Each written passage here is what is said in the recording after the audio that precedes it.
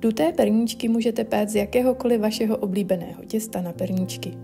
Nicméně v případě, že si chcete ušetřit práci, zvolte těsto, které obsahuje dostatek tuku. Pokud byste se rozhodli péct ozdoby z klasického perníkového těsta, museli byste formičky nejdříve potřít olejem. Ale v případě těsta například na hned měkké perníčky, které jsem již několikrát sdílela, se bez potírání obejdete a vykrojené tvary můžete položit přímo na formičku. Na duté 3D perníčky můžete použít medovou i kakaovou variantu receptu, nicméně s kakaovým těstem dosáhnete hezčího tvaru. Díky kakao se těsto méně rozpíná a nevyskočí tolik do výšky.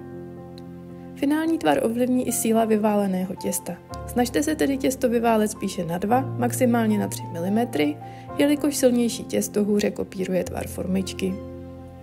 Pomocí vykrajovátka vykrojte srdíčka, případně kolečka a umístěte je na střed formičky. Těsto lehce přitiskněte dlaní, nikoli prsty a rovnoměrně ho uhlaďte a přitom se snažte, aby těsto bylo umístěné co nejvíce rovnoměrně od krajů. Takto připravené ozdoby následně naskládejte na plech a mezi půlkami ozdob ponechte mezeru o velikosti přibližně 2 cm. Ozdoby při pečení totiž nabydou a při menších rozestupech by se vám mohly spéct dohromady. Duté perníčky pečeme stejně jako jakékoliv jiné perníčky, tedy na 180 stupňů a i hned po vyndání z trouby perníčky potřeme rošlehaným vajíčkem nebo žloutkem s trochou mléka. Potírání dutých ozdob je trochu výzva, ale snažte se být důslední a natírat perníčky až ke krajům. Pokud chcete zkusit dřevěné perníčky, tak před vykrajováním do těsta obtiskněte ještě folii a po umístění těsta na formičku celé ještě potřete vodou s trochou kaká. Stačí přibližně 1 až 2 čajové lžičky na skleničku vody. Ozdoby nechte na formičkách zcela vychladnout a vychladlé perníčky můžete z formiček následně sundat.